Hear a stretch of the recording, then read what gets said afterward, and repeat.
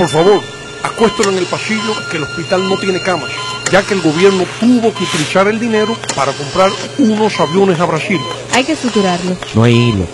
Escúcheme de nuevo, pero creo que va a perder la mano, porque el dinero del hilo lo usamos para celebrar la feria conmemorativa del décimo aniversario de la visión desarrollista y modernizante del presidente de la República. Pero hay que ponerle suero. Ha perdido mucha sangre. Perdónenme, pero no tenemos medicamentos, ya que tuvimos que destinar mil millones de pesos para construirle unos apartamentos lujosos a los funcionarios del gobierno que apenas ganan poco más del millón de pesos mensuales. Oxígeno, oxígeno. Escúchame de nuevo, pero es que nuestra prioridad es el metro, no la gente.